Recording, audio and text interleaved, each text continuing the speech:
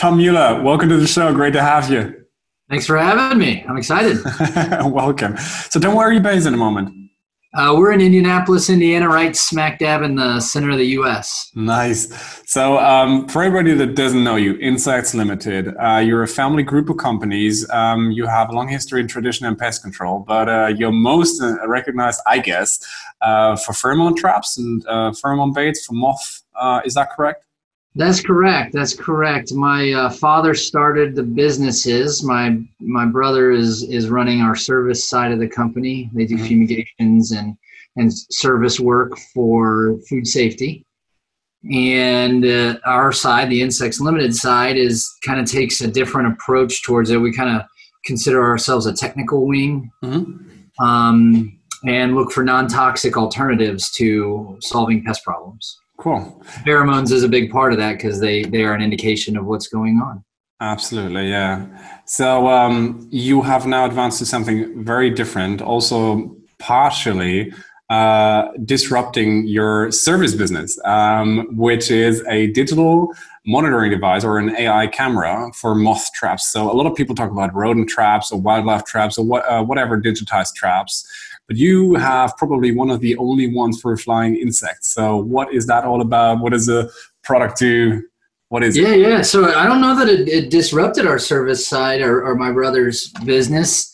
Um, honestly, they they're one of our biggest customers of it, and they use it. They, Good. Use it, they use it to gather information so cool. that they can make real time and better decisions on the pest control programs that they're mm-hmm. providing mm-hmm. to their customers. So um, as you mentioned in the beginning, we started off making traditional pheromone traps, and we wanted to produce something that was a high quality, um, a high quality that is, you know, matched by by none. And mm-hmm. so we went international. We have international customers all over the place. Honestly, twenty five percent of our business is international, um, but recognize the need and, and a trend in the industry that companies want to have their information and they want to use this information to point them in the right direction on how to solve the problem instead of just identifying with from within that there is a problem.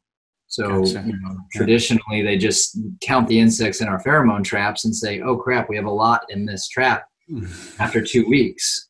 Well now they get that information automatically mm and they can use that to solve their customers' problems, which is what they're there for.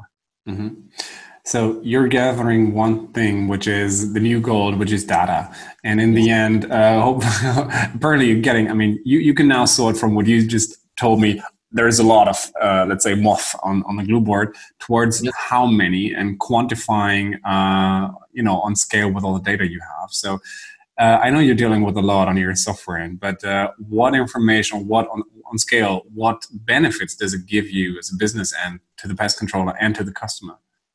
Well, as a business benefit, personally, we decided to take this leap because part of our part of our uh, values as a company are to be innovative mm-hmm. and bring new technology, not just technology as we say it today, but new approaches to the industry itself. So uh, innovation and science are our two main things, along with education. And and this really does scratch all three of those itches, if you will, because you know it is innovative. It's a first of its kind. There are no other um, stored product insect structural pest insect traps like this out there. Mm-hmm. Um, it gives us science because we're receiving that data, and now we can. It's it's literally telling us the effects that the temperatures and humidities are having on insects on a daily basis in these micro environments mm-hmm. within facilities. Mm-hmm. So we're, we can make scientific um, claims, scientific uh, proof that that what we're what we're doing out in these facilities and what the effect is ha- it's having on the insects. It's measurable. And we can use it to educate. I mean, we gather this information, and I wrote a newsletter article recently about how how many insects we're able to catch when it's just a difference of one degree in temperature. So it's amazing. So, how do you feel is the technology adaptation uh, within our industry when it comes to the end customer, let's say a food service, uh, sorry, food, food company, and also to the pest manager? Um, are they reluctant to change, um, or are yeah. they very much open? Yeah, but the ones that the ones that are, aren't aren't wanting to change are getting left behind. Pretty much, huh? have- it's that easy.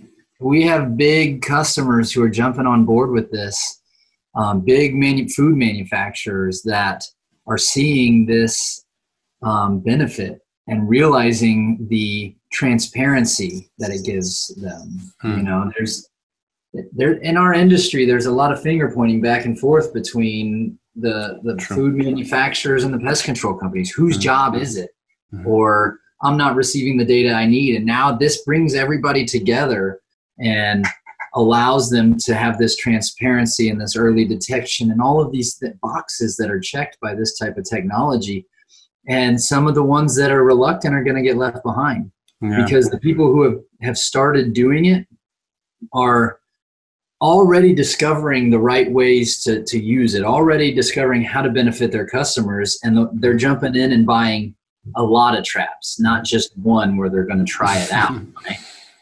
That doesn't get anybody anywhere so yes the, there is reluctance the uh, customers adapting to this is was a little bit slow at first but it's starting to grow exponentially which is really great to see That's pretty cool, and I hope to see more of that exponential growth uh, for digitized products. As you know, I'm also a big advocate for these things. Um, so one thing I would also love to ask, because also it, it interests me, because I speak with so many technology uh, firms from around the globe, is where do you see um, the the drive behind, let's say, a food manufacturer ordering, I don't know, for instance, 20, 50, whatever uh, quantity moth, digitized moth traps um, for their site? Is it is it the food manufacturer themselves who say, "Oh, I heard of this; it makes more sense"? Is it the pest control that says, "I want more control in uh, you know in cooperation with my client"?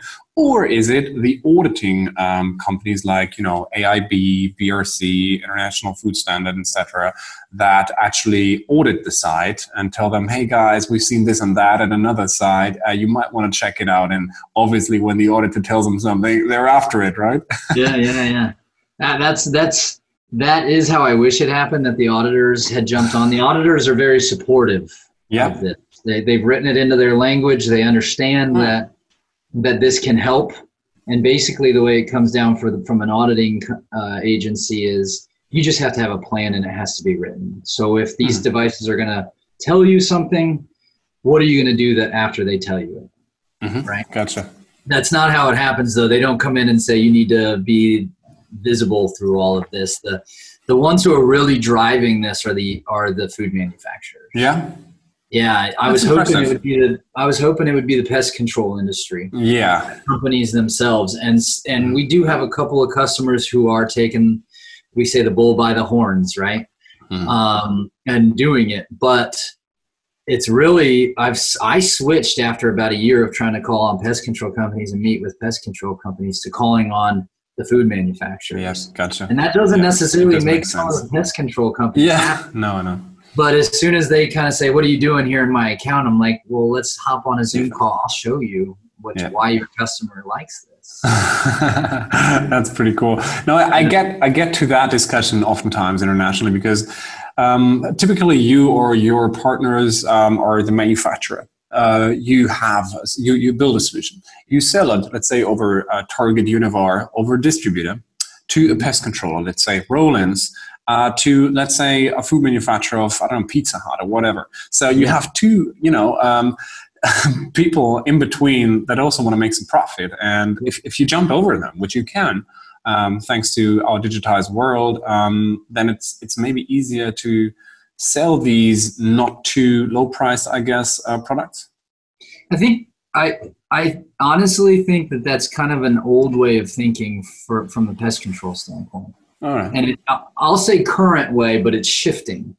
Mhm. I think that people are going to start using these products. Pest control companies are going to start using these products to switch up and their mindset and get away from routing. I use 10 traps and I charge for 10 traps. Mhm. I don't think it's going to be like that after a while. I think they're going to use 10 traps and they're going to charge for the quality of the service.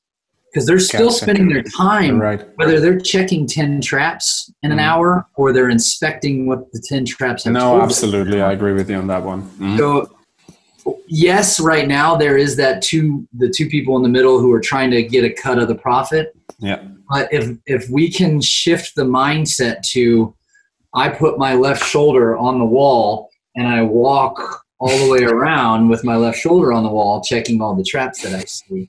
Two, I walk around and I, I go where everything's telling me and I charge Yep. for that instead. And that's where I'm starting to see a little bit of a shift. Yep. Yep. I've had conversations though where people say you're never going to get away from that type of that type of routing. Yeah, it, it's it's partially. I mean, it's very philosophical, um, but also on, on scale. That's actually not only not philosophical, but actually, you know, mathematical standpoint on which you calculate whether it, it makes more sense to sell a result, a pest-free environment, and you guarantee for it partially, or you sell checking each box three minutes times 500 boxes equals uh, hourly pay, etc. So yeah, I, I, I'd agree with you because in the end, it's. I mean, you know. Um, I'm, I'm pretty honest, uh, honestly thinking that your devices are going to win in the, this decade. Um, they're, they're probably going to be sold in bigger quantities, hence the price goes down, hence it's easier and you sell more. Um, so at least fingers crossed. Um, but I think uh, we have to be patient. It's, it's not going to be one of these B2C product rollouts where all of a sudden um, millions are sold, but it's, uh, you know, in the pest control industry, you have contracts, etc. So I think it's, it's going to be this decade, uh, which is going to be really interesting. Um, Yeah. And it's also challenging the business model itself. Yes, uh, it, I I tell everybody who's jumping on board, we're changing the world. we are pretty much, absolutely. The pest control world is getting a change upside down. Yeah. yeah, pretty cool. Hey, Tom, thanks so much for your time. I think it's really innovative what you're doing there. Uh, what we didn't speak about too much is how you measure um, moth. You do it actually with a camera, a Wi-Fi powered camera, uh, which I find really, really interesting. Um, there are many, many sensor products out there, uh, very little camera products out there. So everybody should check out Tom's solution. You can find all of his contact info in the descriptions. Um, keep on fighting. Uh, the product is great. I think you know the incremental change within our IoT industry and the product is, uh, is to be seen in, in every sort of competitor we have in, in the digitized world. Um, so products are getting better and better. So keep up the fight. I think it's going to be worth it. yeah, yeah, we'll get there. Yeah, you will. Thanks, Tom. All right, thank you.